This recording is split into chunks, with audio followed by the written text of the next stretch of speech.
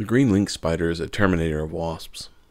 But to be honest, it is a predator of opportunity and will pretty much consume whatever insect that it can capture and kill. It is beloved in certain areas of agriculture as it eliminates many crop damaging insects, but it also sometimes consumes beneficial insects too, such as pollinators. But people shouldn't fear this arachnid. Although it has a scary appearance, it is relatively harmless to humans.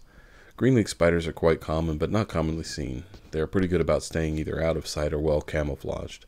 Chances are, if you have shrubs around your home, or a garden or tall grass field nearby, then you probably have green lynx spiders around as well.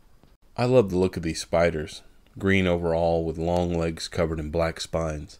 Additionally, I respect how protective the mother green lynx spider is over her eggs and babies.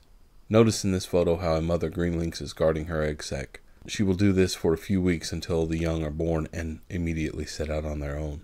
Female green lynx spiders are often larger than males, ranging in length from a half an inch to three quarters of an inch, not including the legs. Males are usually half an inch in length or slightly shorter. These spiders are fairly translucent, and the cephalothoraxes appear to have been cast in a green gel. They have incomplete chevron markings on the abdomens. Legs are translucent and yellowish and covered in black spines.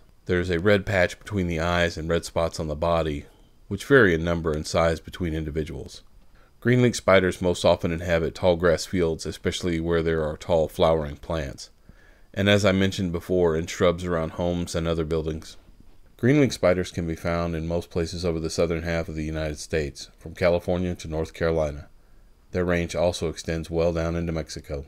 Female green lynx spiders lay eggs in a silken sac which is attached to vegetation such as leaves or tall reedy grasses.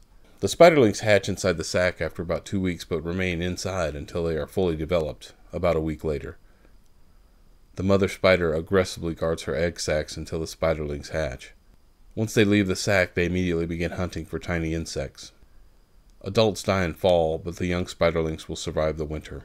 As I mentioned previously, these spiders are relatively harmless to humans. However, if messed with, they can bite, and the pain would be similar to a wasp or bee sting. Additionally, green lynx spiders can spit venom up to about 8 to 12 inches. It has been reported that the venom can cause eye irritation. It's probably best to just keep one's distance from these spiders and try not to handle them especially a mother guarding her egg sac. The green lynx spider is the largest North American lynx spider. If you enjoyed this video, consider clicking on the like button and subscribing. Thank you.